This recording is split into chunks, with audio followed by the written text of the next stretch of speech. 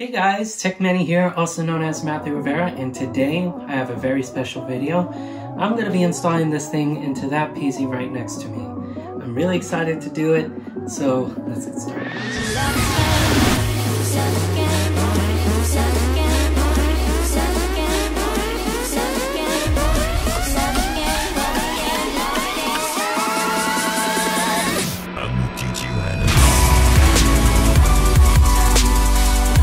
Guys, so before I start, I want to tell you guys something about this CPU. This is the AMD Ryzen 9 5950X. So my sisters have computers from CyberPower PC, same thing as mine, different case of course, and innards, some of them.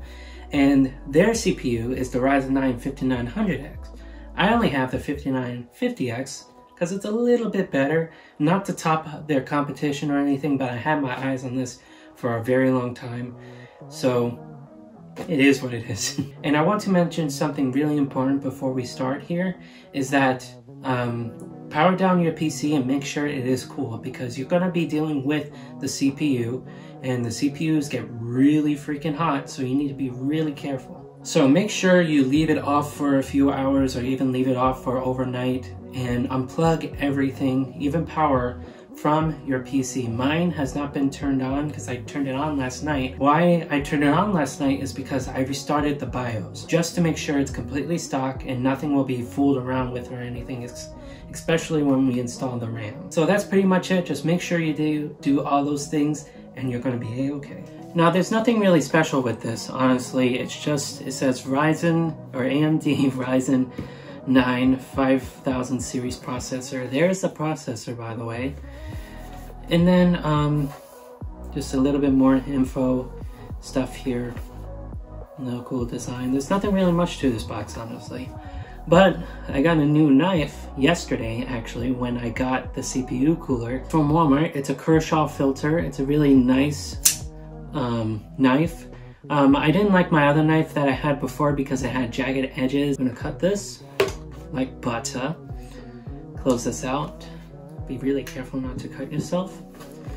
We're gonna open it. So, I don't think anything's in this yet. It's just a wasted piece of plastic. Um, what's this? First of all, we have this. Important, please read. The AMD Ryzen 500 um, 5000 series desktop processor contains in this package is compatible with AMD socket AM4 motherboards when a compatible BIOS update has been installed. And mine has the recent BIOS update. Um, I checked yesterday and it was from last year, so I'm thinking that's pretty much it for that. Oh, this opens. Oh, different languages. Okay, that's it. And then this is, oh cool, I like this. Certificate of Authenticity. Very nice.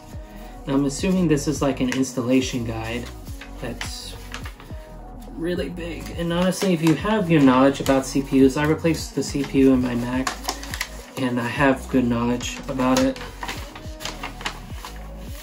Well, this is cool. It gives you a complete, um, you know, fill out of everything. And then, oh cool, we got a little sticker. Oh, I'm placing that on the, I'm placing that on my CPU, roll, probably at the bottom or next to um, where my Elgato logo is when I got my PCIe game capture card, but that's really nice. I didn't know it came with the sticker.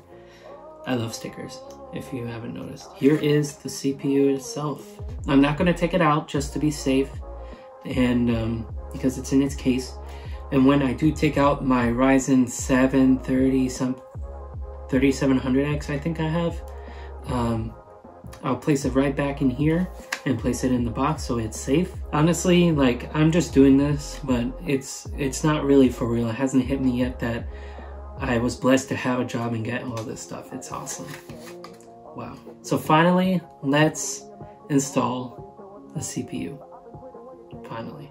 So here's the PC right in front of us. Um, what I just saw that I just remembered is that this thing is dusty.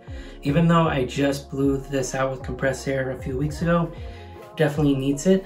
Um, especially when we're gonna be dealing with the CPU. I don't want any type of dust or even the RAM dust going anywhere in spots that will make the computer freak out.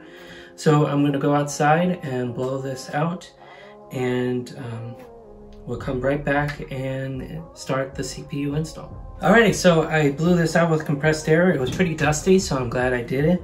But um, there's a few things I need to um, tell you all about. You will need a Phillips head screwdriver um, because you have to unscrew the uh, brackets that hold this um, CPU cooler in. So what we need to do is to remove this specifically, there's gonna be a latch right here that you pull this way and pretty much you can probably pop this out here. I have not looked into this, so I'm just pretty much guessing.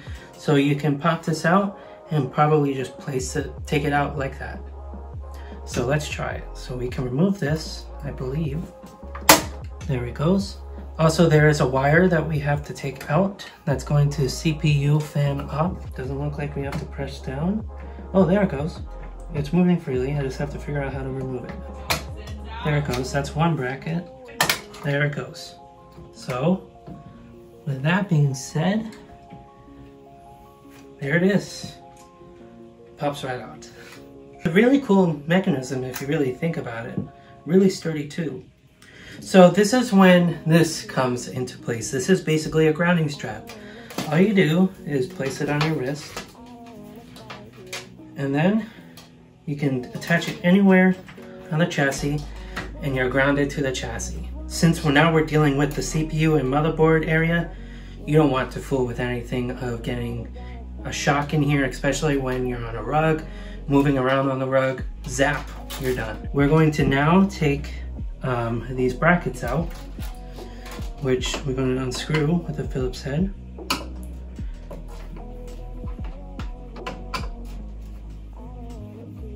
These brackets come out with those screws. We can place these to the side.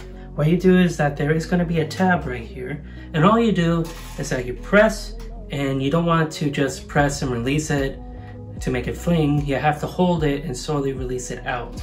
So what you do is you press in and push out um, towards the graphics card and then you lift ever so slightly and then it pops out because when you do this it makes it and you're good to go. All we do is now lift it out and here is the little tiny CPU that was powering this entire thing. So on the bottom um, left-hand corner, there is going to be an arrow.